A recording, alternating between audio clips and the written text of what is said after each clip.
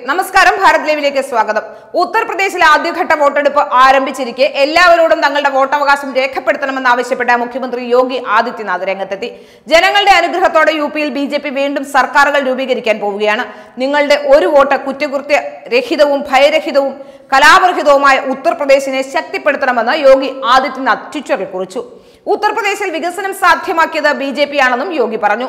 B J P സർക്കാർ ഒരു വിവേചനവുമില്ലാതെ സംസ്ഥാനത്തിന്റെ വികസനം സാധ്യമാക്കുകയാണ് ചെയ്തത്. കഴിഞ്ഞ അഞ്ചു വർഷത്തിനുള്ളിൽ വികസനത്തിന്റെ ഈ യാത്ര ഗ്രാമങ്ങളിൽ നിന്ന് ഗ്രാമങ്ങളിലേക്ക് എത്തി. സംഭാലിലെ ചന്ദൌസി പ്രദേശത്തെ റോഡുകൾ ഇതിന് തെളിവാണെന്നും യോഗി ആദിത്യനാഥ് കൂട്ടിച്ചേർത്തു. ഉത്തർപ്രദേശിൽ പതിനൊന്ന് ജില്ലകളിലെ അൻപത്തിയെട്ട് നിയോജക മണ്ഡലങ്ങളിലേക്കുള്ള വോട്ടെടുപ്പാണ് ആരംഭിച്ചിട്ടുള്ളത്. രാവിലെ ഏഴ് മണിയോടെ തന്നെ പോളിംഗ് ആരംഭിച്ചു കഴിഞ്ഞു.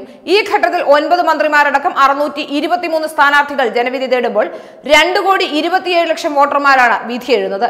മധുര മുസാഫർ നഗർ ഗാസിയാബാദ് ബുലന്ദ് ഹാംപൂർ ഷാംലി അലിഗജ് ആഗ്ര തുടങ്ങിയ ജില്ലകളിലാണ് വോട്ടെടുപ്പ് ആരംഭിച്ചത്. പ്രധാനമന്ത്രി നരേന്ദ്രമോദിയും ആഭ്യന്തരമന്ത്രി അമിത്ഷായും എല്ലാവരും ഇവിടെ വോട്ട് തേടി എത്തിയിരുന്നു. ജനാധിപത്യത്തിന്റെ വിശുദ്ധ ഉത്സവത്തിൽ എല്ലാവരും പങ്കെടുക്കണമെന്നാണ് പ്രധാനമന്ത്രി കുറിച്ചത്. ഉത്തർപ്രദേശിന്റെ ഭാവി തീരുമാനിക്കുന്നത് ജനങ്ങളുടെ വോട്ടിലൂടെയാണ്. അതിനാൽ എല്ലാവരും വോട്ട് ചെയ്യണമെന്നും അമിത്ഷായും ആവശ്യപ്പെട്ടിട്ടുണ്ട്.